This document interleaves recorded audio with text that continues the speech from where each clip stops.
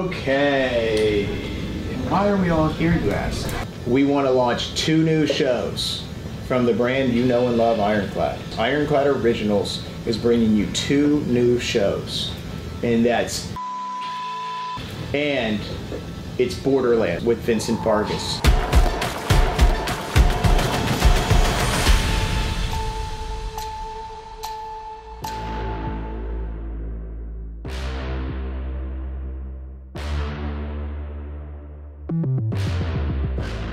I'll tell you right now, Vincent mm-hmm. Vargas called me yesterday. He said, "Bro, I'm in. I just want my legal to sign off, and then I'm, I'm all I'm all your guys. I can't wait. You know, so that's happening.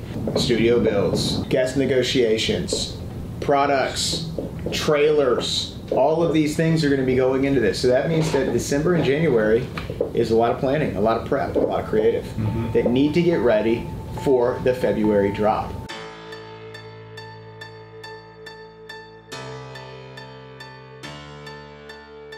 So we are putting together the new rack for Borderland, which is our next Ironclad original. So this is a rack that's going to handle all of the inputs for the audio and video, bring them all together, connect them to a Zoom call for conferencing with the guests for the show, as well as technical support, and then remote login for grabbing files for the show.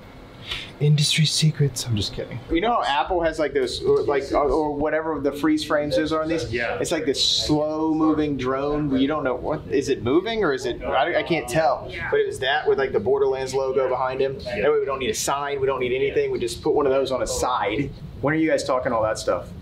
Art kit. Art stuff kit, art kit, and creative direction for studio. Between tomorrow and Friday. All right, I'll be, I'll be on it. This is the image that was in the one sheeter. And this one I kind of like. It's kind of got like a photographic kind of painterly kind of style to it. This is the same one, but with sort of like an inverted thermal palette. For the studio, um, you know, it's a tiny corner of his office. You've seen the room, Jeremy? I've seen it live in a meeting with him. I've asked for room dimensions, pictures of the ceiling, everything that you guys told me yesterday. And a few we're about to head out to the print shop to check out some new samples for some upcoming projects. Definitely wanted to go with like a light hand print. You can just pass that with black so we can cut down because that's the only one I asked for to be tonal. No, I like that versus going with white that would look like it wasn't purposeful. Especially on this one. Yeah, you can actually see the heather through that. Still pick up some of the tones. We are about to head down to favorite state of Texas to build the Borderland studio with Vincent Vargas. Um, just using Cine Tracer to build out some renders for the look. It's really designed to help me understand how the lighting is going to work. So that's the main tool I use within Cine Tracer is the ray tracing ability of the lighting. It just helps streamline the whole process. We are on our way to uh, Vincent Vargas's house where we're going to set up his podcast studio for Borderland. Borderland will be shot on the Sony a7 IV with a 24 to 70 Sony lens. They're working on some Borderland specific merch now. Super easy. Like it. Love it. Sweet. The guest will be displayed on the screen, and then Paul pretty much does everything else besides hitting the record button. Interesting.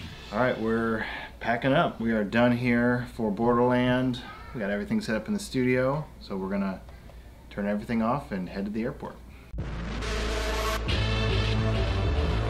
Vince's portrait looks great. Yeah, it looks sick. Did you see he was on uh Yeah. Cam Hanes with the ironclad sweatshirt? Did you hear him talking about it? Well, I don't know if you're making any money podcasting, but you could. You're great.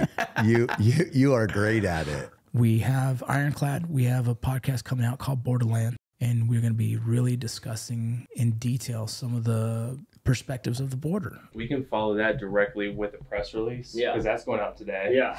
Um, do you have those pulled up? We'll just make sure they look good web wise or like for email. Yeah. So this original one with this large block style, the white over black. On the second one, she's gonna say new Ironclad original podcast. So she's gonna change that header up to match this here. Very cool. It's becoming real. I'm going to be buttoned into the table, so shift the table too. Yeah, yeah. Just bump the table over a little bit as well. Yeah, that's that's way better. Overall, it looks great. Cool. Uh, good job, guys. Great work. Thanks.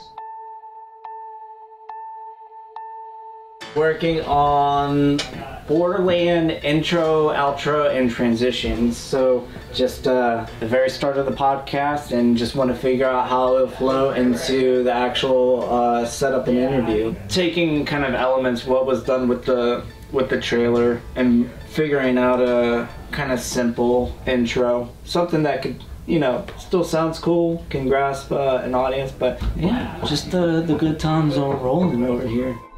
All right. I think we're, we're rolling here. Vince, I'll let you uh, take it away. Sheriff Cleveland, thank you for joining us. Sorry for the, the last minute change there. Thank you. For Hey, no, I'm easy. I'm easy. Is, is the camera squared up okay?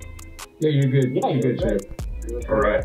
So yeah, we're just kicked off the recording of the first episode of Borderland. Our first guest, Sheriff Thaddeus Cleveland. As you can see, we got it. We got it rolling here from Vince's brand new studio. Not gonna lie, had a little uh, some technical stuff we had to work through coming down to the wire, some schedule stuff, but uh, we're rolling. I'm excited for people to see the show. That's what we do. Make it happen. We cut through the partisan talking points. We're not interested in perpetuating fear. We're interested in seeking truth, hearing what's really going on on America's borderland.